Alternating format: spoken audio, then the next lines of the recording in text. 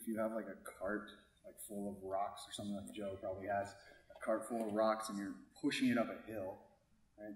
If you have to push it up the hill once, it doesn't matter if the cart has wheels or like squares on the bottom, like old Flintstones cartoons. But if you have to push the cart up the hill a thousand times, then me being able to convince you to put wheels on instead of squares is going to be a lot. It's an easier argument for me to make because you experience that strain. And that's the same thing in jiu-jitsu where it's like, I want, to, I want everyone to have wheels, but it's hard to describe what those are until you have the experience of struggling to push this card up and you go, there's an easier way to do this. It's like, yeah, you got to do this, this, and this, and this, and this.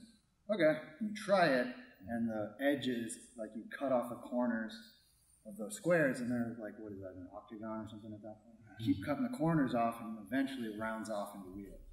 And that's sort of the process of jiu-jitsu of drilling and sparring, and then drilling and then sparring. And awareness and movement.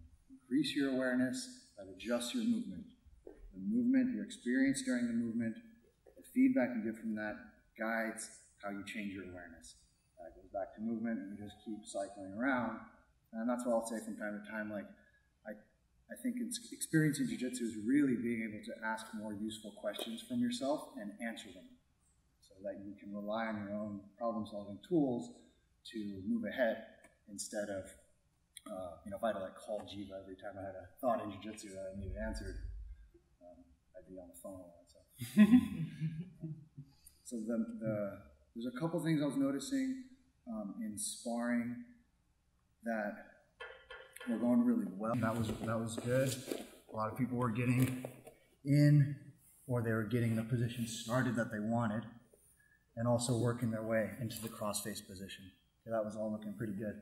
Now, if I get into here, I get this cross-face.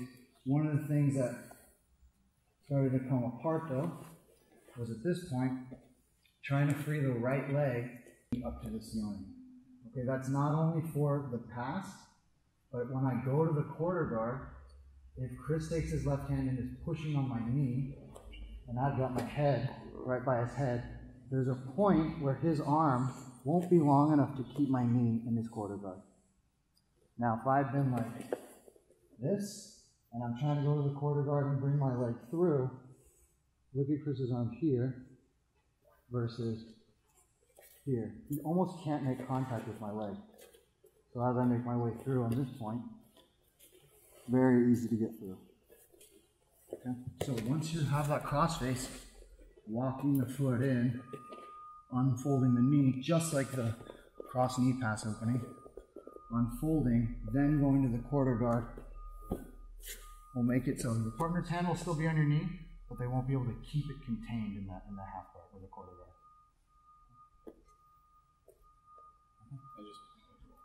Usually people do that, don't they? I know. Any thoughts on that? Any? Let's see. Travis, you're going to be passing on Joe. Um, Heather, you? If you want more videos, please click below to subscribe. If you want to dive in deeper, you can click here to get a free video seminar I did of one of my favorite sequences uh, from standing to submission. And if you have any questions or anything you want to see, please leave it in the comments below.